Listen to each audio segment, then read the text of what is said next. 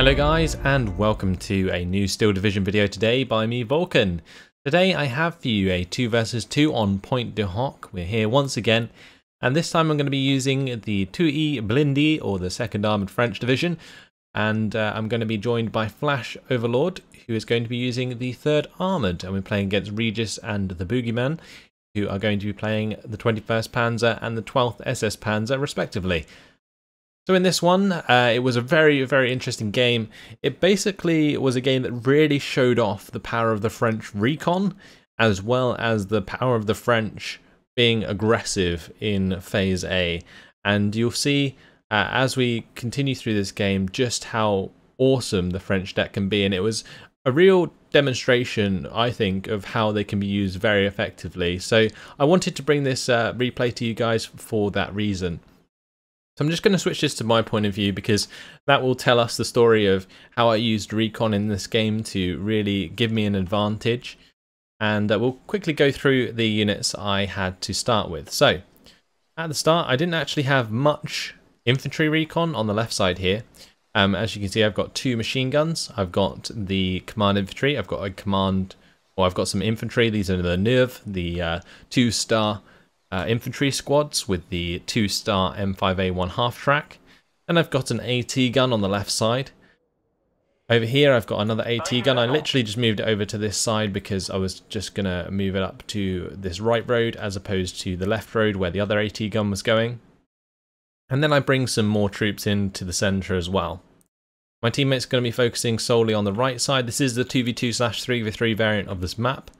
So it is uh, relatively large and there is quite a lot of uh, land to cover. However, if you put your po points in the right place and make a spearhead, then generally you can break through on these kinds of maps. If you choose the right position, then it can go very well. As you can see here, Flash uh, was going to place some infantry to cover off this sort of centre part, but I've noticed that I had a bit of a deficit there, so I moved over a couple of troops and he moved that infantry squad over to him, so he could make better use of that. So that's another NERV squad with a command infantry squad driving off in their little car. I love these little jeeps, they look really funny.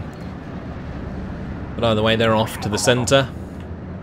This uh, AT gun's off to the right road and these lot are all coming up to this town. So I was a bit, a bit apprehensive. I know that the uh, uh, uh, Axis side can generally get to the town around the same time if they use some faster vehicles, so I was a bit apprehensive about that, but I do have the Spahi, and that is a very fast uh, M8 Greyhound right there.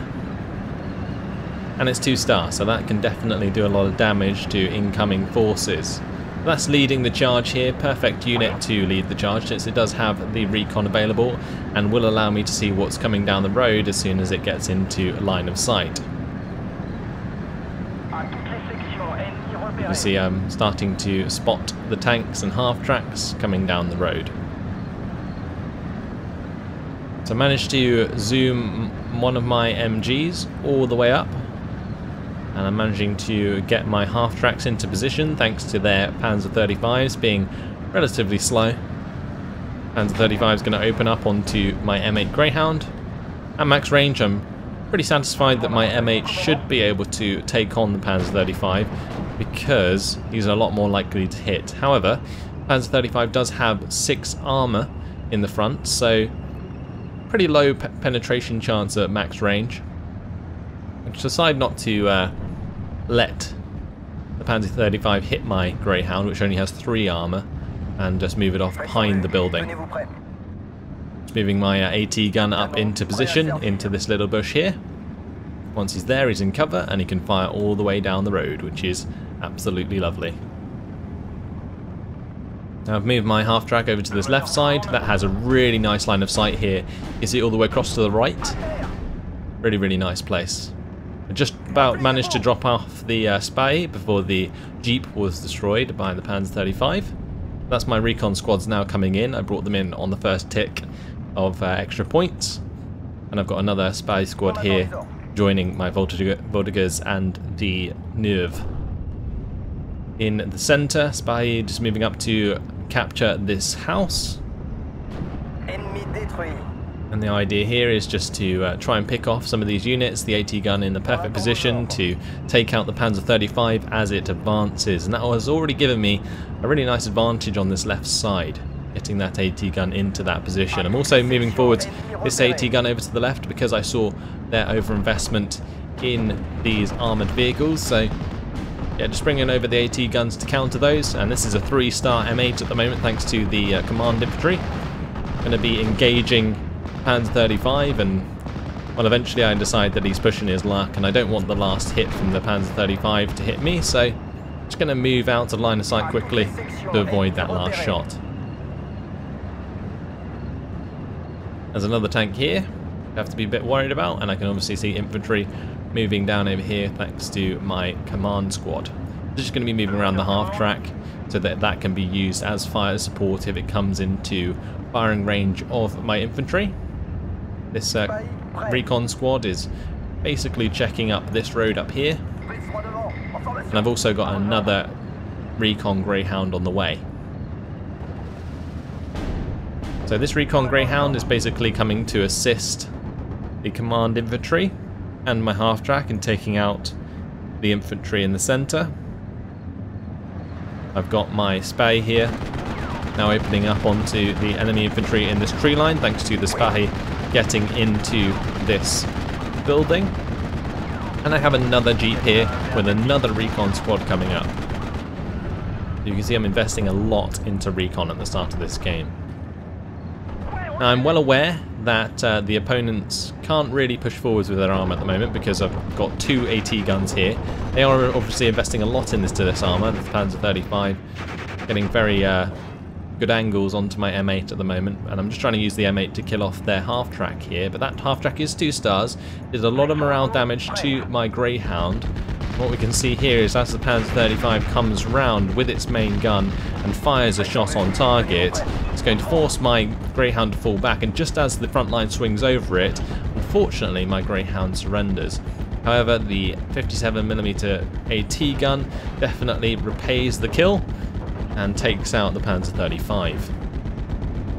So you could say the M8 Greyhound got the best end of that deal, just surrendering rather than being killed. I did uh, take out a Panzer Grenadier squad in the centre earlier, the command, well the half track being three stars there, definitely going to chew apart that squad. And you can see here the M5A1 able to uh, cut up the Panzergrenadier in the open as they move up towards our lines. Now these Spahi just here, I've actually got them on return fire just so they don't get spotted by all of these half tracks. And I just do the same with the ones in the centre as well because I don't want them to know that I'm seeing all of their stuff right now. I've taken up out a lot of their tanks. I've taken out one, two now. I know there's probably a third. That's not particularly an issue at the moment. As I'm now moving up my infantry into position. So I've got another squad of NIRV and the command infantry pushing to this field here. See if I can make some ground against this half track.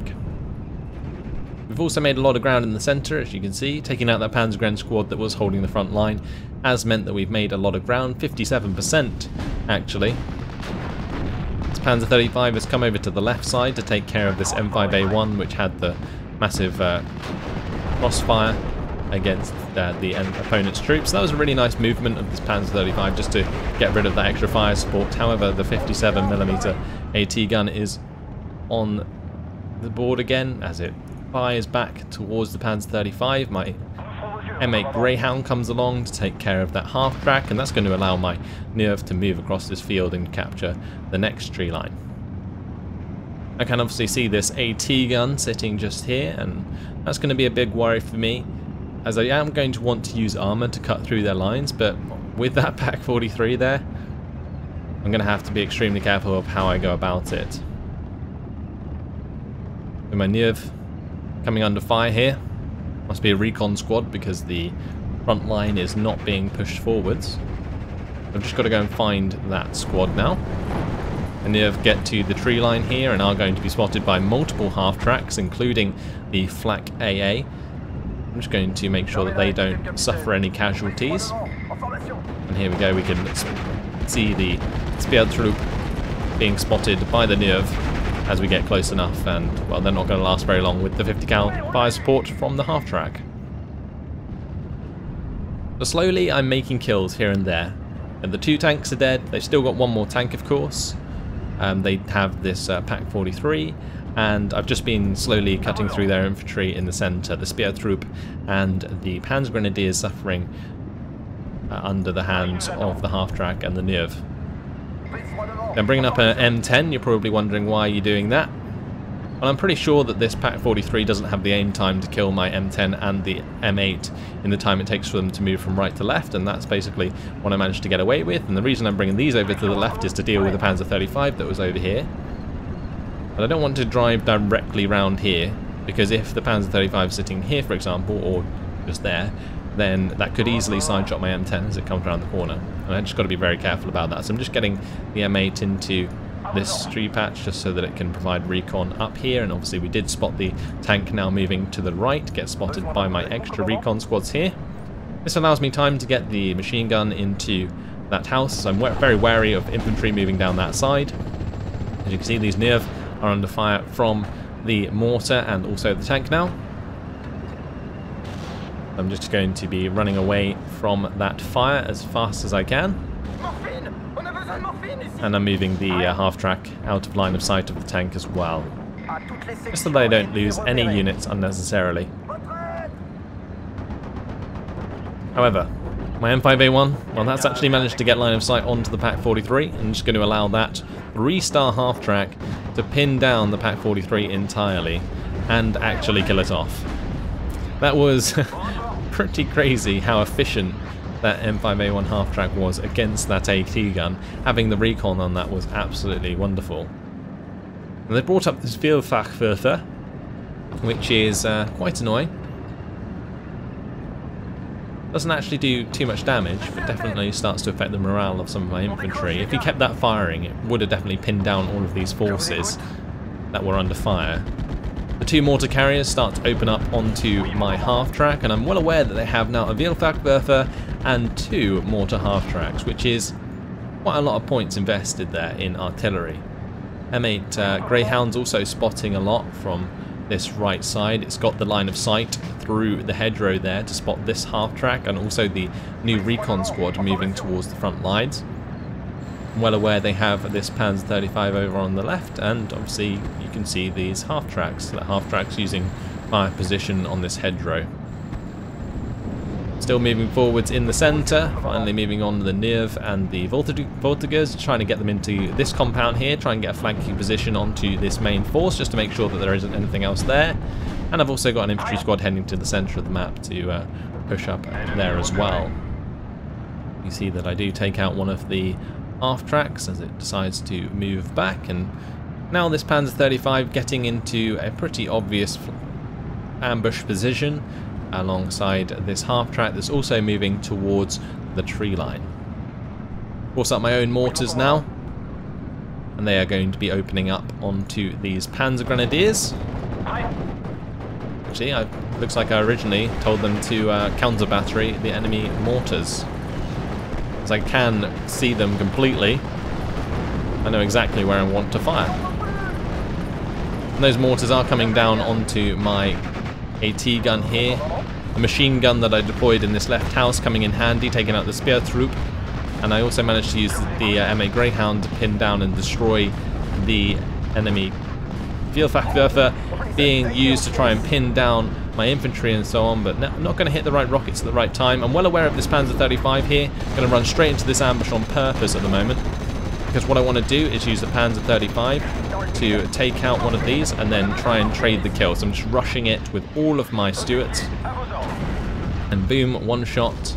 Reload time takes too long of the Panzer 35, and I managed to kill it off. So I sacrificed one of my Stuarts to get a good advantage here. I know that he's invested so many points into this artillery, and I'm pretty sick of it. So I'm just going to rush on through, kill one half track with one of the mortar half tracks. I've made this half track bail out. I've killed the Vielfachwerfer, and well, all that's left now is the, the Mortar track to be killed and the flak up here as well.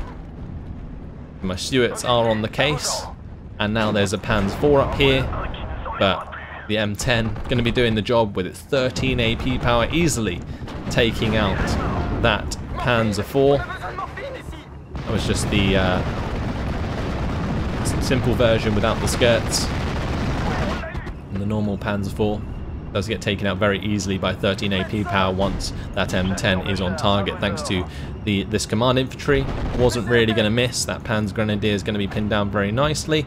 And, well, the Greyhound's going to arrive right in front of this half-track and pin that down before it can finish off my infantry on the left. And just like that, I cut straight through the enemy lines like a warm knife through butter. Got all of this infantry here, and it's literally being hit from all sides. My half track over here with the M8 Greyhound. I've got my M8 Greyhound on the left, supported by the M10, and then the two Stuarts moving forwards with my half track and the command infantry in the centre.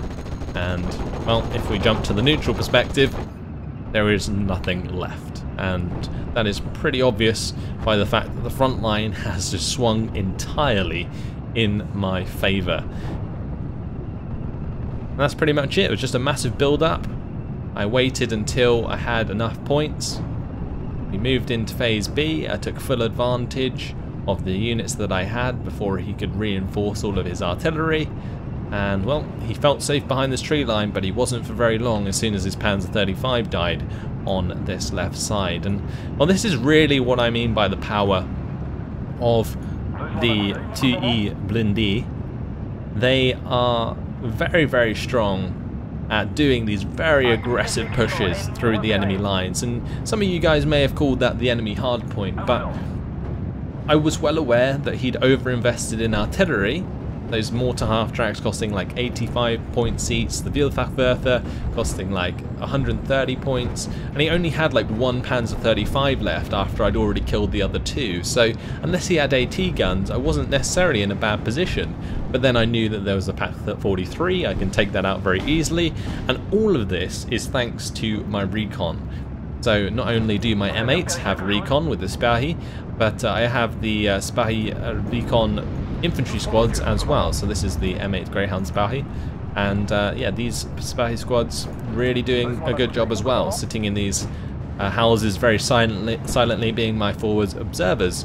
And well, since I don't need this defensive position anymore, the entirety of my force is just moving forwards into uh, the edge of the map here just to make loads of ground. And my teammate on the right side, he's still holding strong. Hasn't made too much ground, just kept the line 50-50 on his side. But I've definitely made an absolute ton of ground. The Speer run into the uh, infantry here, the Speertrupp, and there was a Panzergrenadier squad as well here. Again, if I go to the neutral perspective, Pioneers, um, MG42, he's reinforced the centre very much so, and I'm well aware of this thanks to the Speer. Unfortunately, they are going to get pinned down in the open, and uh, very much harassed by the enemy infantry until that uh, squad goes down. But I've made all of this ground on the left side. We're 1,650, well, 1,660 points up on the opponents, and we're at a plus three, so that's going up even quicker now. Now, since it has run into phase B, and I have had a lot of points, uh, I have brought up this sort of contingent of Shermans. I've got the Command M4A2 supported by a Command M4 or, or a normal M4A2 two-star variant, making that three-star thanks to the command of the Command M4A2. And then I've got a M4A3, 76mm as well, just for the 13 AP power there and the 12,000 meter range, just to allow me to pop uh, larger tanks like the uh, Panzer IVs. I've got this AT gun here being brought up by the half track. I went back and grabbed that with the half track and took it all the way up to the front line to take it into this bush just here. As I've got my M10 here sitting behind as well. The idea here is just to uh, have my units in this position so they can fire off down the road if any reinforcements come in from the left side. However, uh, my opponent has decided to just try and push down the middle, try and make back some ground, and he certainly is doing so since uh, we don't really have anything in the centre currently. All of my infantry that was there did eventually die out. Uh, but I still have, of course, all of these units over on this left side, very veteran units. My mortars are still moving up very slowly, and I didn't really get to use them much throughout this game, and of course I still have all of these tanks here waiting to be told what to do. Since I'm uh, I've got this defensive position here with the M10 and the uh, 57mm AT. I can just leave that position, move my Stuarts over towards the chateau here, bring one of the half tracks with me and one of the M8 Greyhounds, and I'm finally going to fast move some of these Shermans back to the right as well, just to stop this push coming down the centre of the map.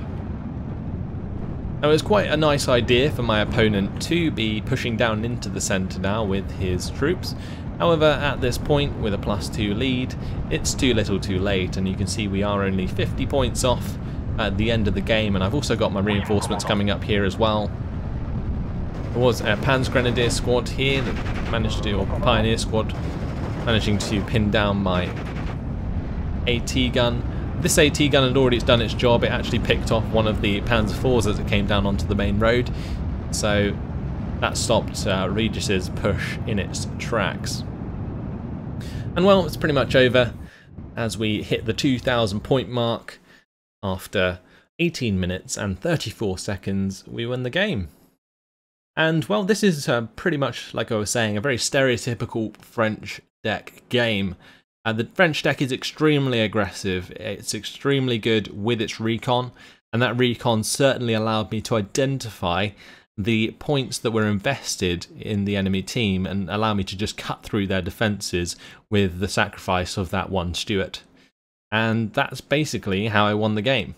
And this is a really good example of how you can exploit what the opponent has invested their points into.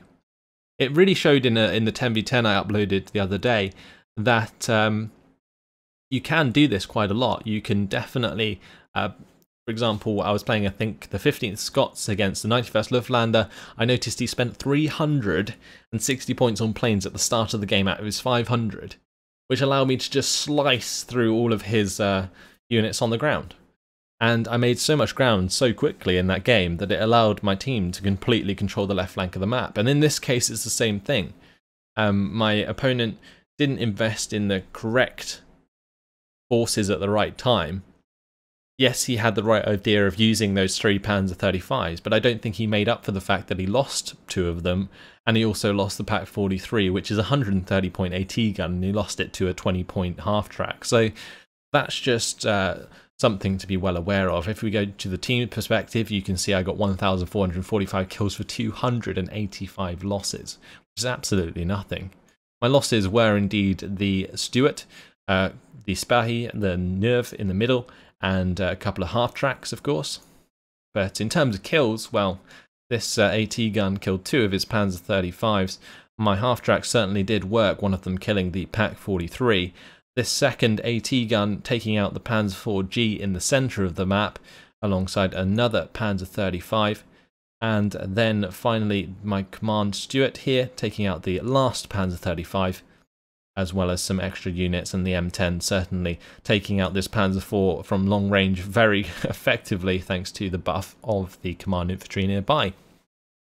And there you go, that's pretty much it. So hopefully you guys enjoyed this one, just a quick demonstration of how effective the French deck can be to people who uh, aren't necessarily prepared, but there we go. Um, hopefully you've enjoyed this one, thanks for watching and I'll see you in the next video. Goodbye.